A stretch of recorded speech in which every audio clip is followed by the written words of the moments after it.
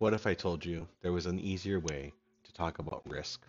In this short video, we're going to talk about how you can analyze your control universe, identify your relevant industry frameworks, scope vendor questionnaires based on your organization's policies, establish a robust contingency plan, evaluate your controls effectiveness, and remediate gaps between internal and external controls in about under five minutes. What we've displayed here is the NICE framework.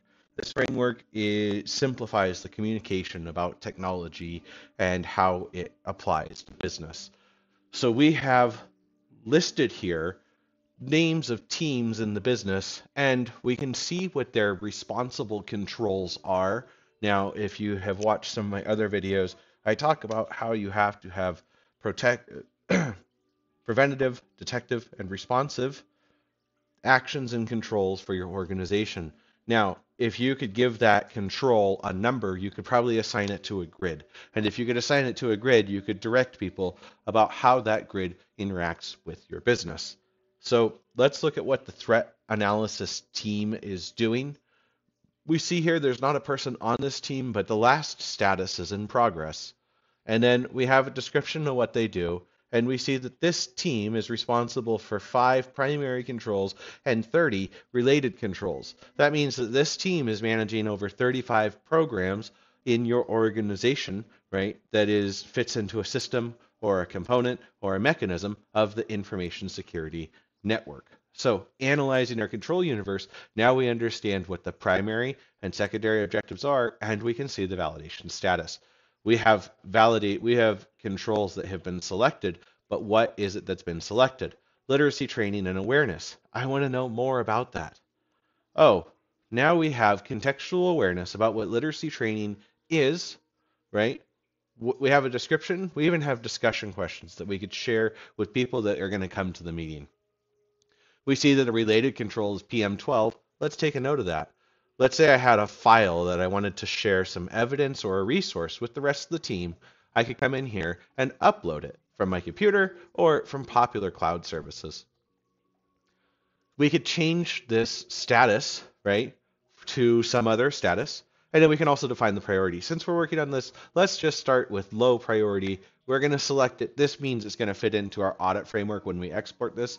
We did our last update. We could start to define our requirements for literacy training, right? Uh, what org will we work with?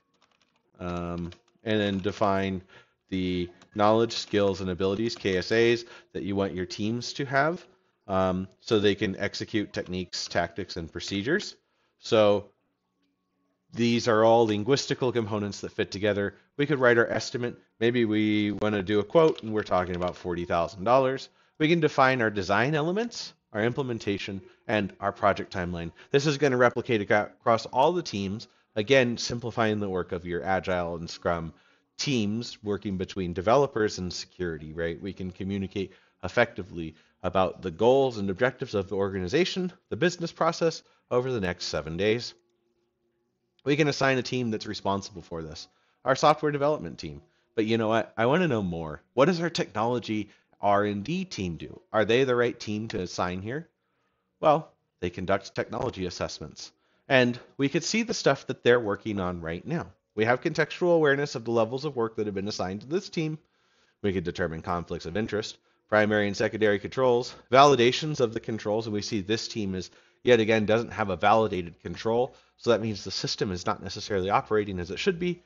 We have our control description, we have discussion questions that simplify the conversation. We could take this discussion question out, right, by going down here, and we can see there's there's no evidence. We could take all of this and write it into a report and distribute it on our chat ops, Slack, Teams, whatever it is that your organization is using to communicate across these very diverse silos.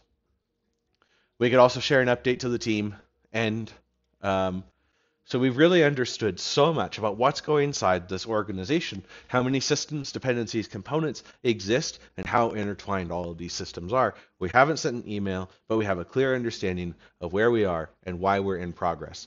For this team, complete, we see there's no evidence here, there's no assurance, and there's no communication that's going on. So tomorrow we're going to get this team doing something else and get our cyber investigation team with a control and a validation status.